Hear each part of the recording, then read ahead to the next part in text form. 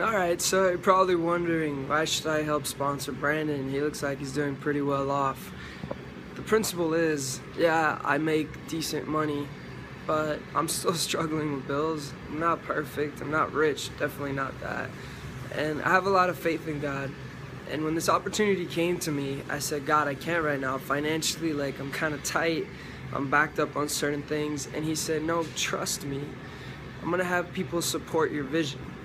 And you know what? That was kind of difficult for me because a lot of people don't help me out. I've had to do a lot of things on my own. I've I've done many things on my own and definitely with the help of Christ and just believing in the power of God and the grace of God. And he showed me something important one day I want to travel the world. I want to reach out to people and spread the gospel, but with love, with service, not just standing and, and talking to people, but just reaching out, giving them a hug, showing them the love of God that is stored inside my heart. And you know, one of the most difficult things for me to do is to ask people for help. And that was one of my biggest problems when I was depressed and when I was going through hell.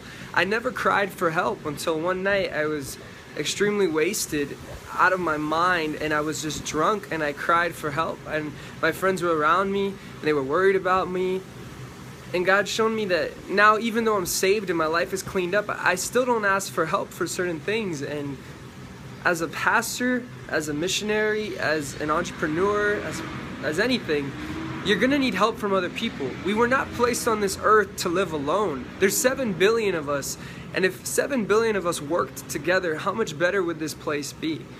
And you know, I had to realize that unless I ask you guys for help, I'm not going on this trip.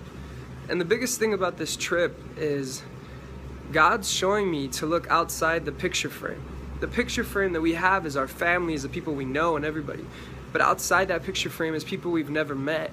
And those are extremely important people, just as important as the family that's in the picture frame. And as I ask you guys for help, each and every one of you are planning towards a seed because this is going to be a catalyst effect of my future. I'm going to come back here on fire wanting to make a difference more than what I what I can do now. Because I feel like a hypocrite. I've never lived in a third world country. I don't know exactly what it is, but I have the love of Jesus Christ inside of me and, and I just want to reach out to that but I don't know where to start.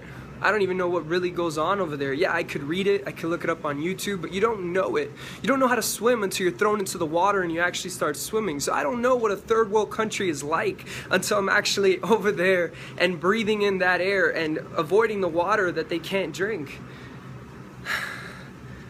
My earlier post was to face my giant, and one of my giants is just letting people know I need help. And what I'm asking for help is if you guys fund me, it'll be a great help